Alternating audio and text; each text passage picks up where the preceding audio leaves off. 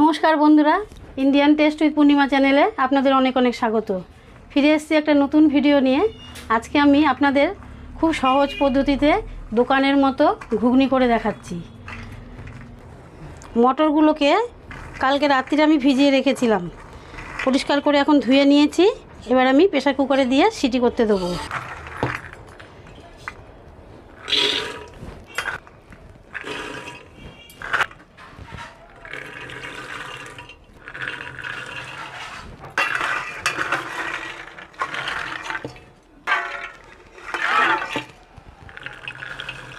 মটরের মধ্যে আমি পরিমাণ মতো জল দিয়ে নেব। মটরের মধ্যে সামান্য পরিমাণ লবণ দিয়ে দিলাম। এবার আমি প্রেসার কুকারটা বন্ধ করে মটরটা সেদ্ধ হতে দিয়ে দিচ্ছি।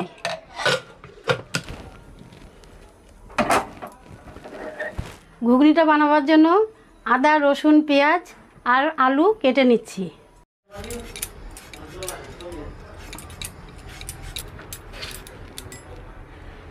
আলুগুলোকে এরকম ছোট ছোট করে কেটে নিলাম।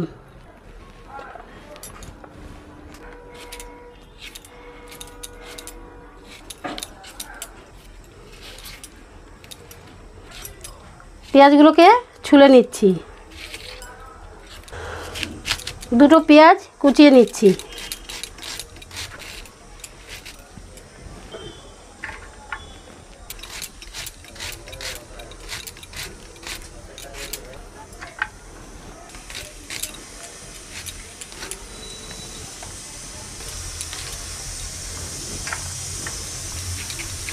একটু আদা ছুলে নিচ্ছি।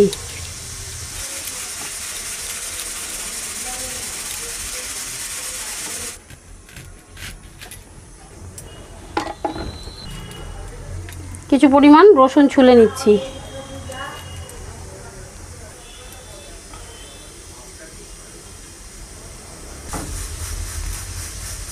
রসুনগুলো ছোলা হয়ে গেছে। আদা, রসুন, পেঁয়াজ ছোলা হয়ে গেছে। এবার আমি বেটে নেব।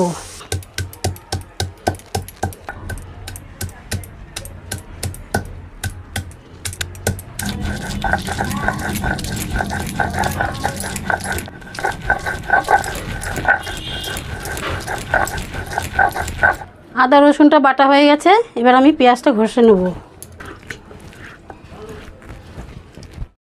আদা রসুনটা তুলে নিলাম। পেঁয়াজটা আমি ঘষে নিচ্ছি। পেঁয়াজটা ঘষা হয়ে গেছে, এবার আমি আদা রসুনের সাথেই তুলে নিচ্ছি। মটরগুলো সেদ্ধ হয়ে গেছে। কড়াইটা গরম হয়ে গেছে, তেল দিয়ে দিচ্ছি কড়াইতে। সর্ষের তেল দেবো। ঘুগনিটা বানাবার জন্য কেটে রাখা আলুগুলো ভেজে নিচ্ছি। আলুগুলো দিয়ে দিলাম।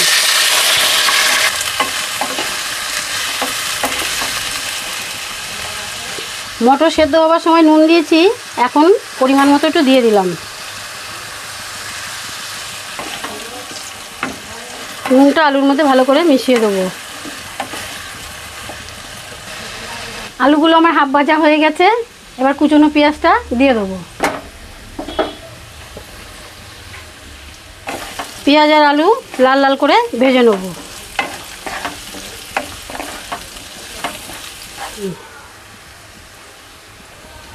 একটু মিশিয়ে নিচ্ছি হলুদটাকে। আলু, পেঁয়াজ ভাজা হয়ে গেছে। এবার আমি আদা, রসুন, পেঁয়াজটা দিয়ে দিচ্ছি।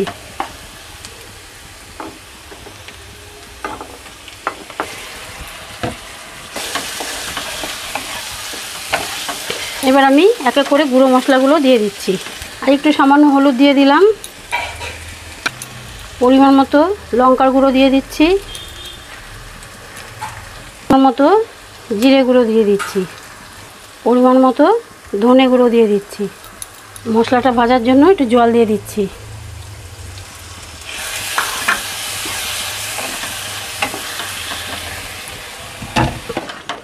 আলুর সাথে মশলাগুলো ভালো করে কষিয়ে নেব।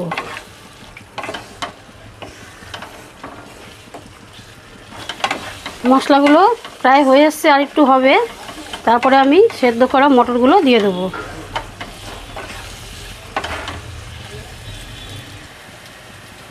সামান্য পরিমাণ চিনি দিয়ে দিচ্ছি।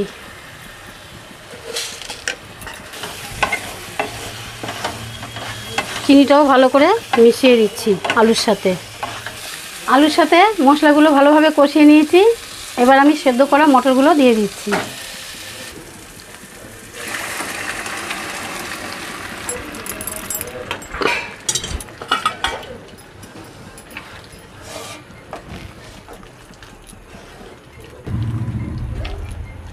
ভালো করে মশলার সাথে মটর, আলু সব ভালো করে সুন্দর করে মিশিয়ে নিচ্ছি।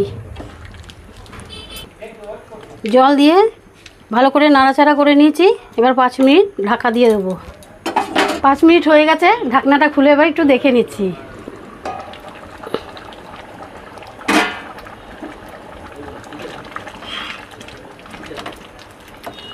এই যে দেখুন বন্ধুরা, কি সুন্দর হয়ে গেছে। মটরগুলো খুব সুন্দর সেদ্ধ হয়েছে, আলুগুলোও সেদ্ধ হয়ে গেছে, ঝোলটাও টেনে এসছে। এবার আমি একটু গরম মশলা দিয়ে নামিয়ে নেব।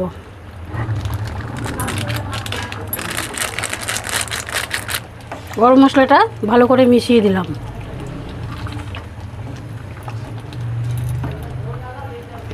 এবার আমি নামিয়ে নিচ্ছি। তো আজকের ভিডিওটা যদি আপনাদের ভালো লেগে থাকে, অবশ্যই লাইক কমেন্ট করবেন আর একটি সাবস্ক্রাইবও করে দেবেন। তো ফিরে আসি পরবর্তী ভিডিও দেখবেন নমস্কার।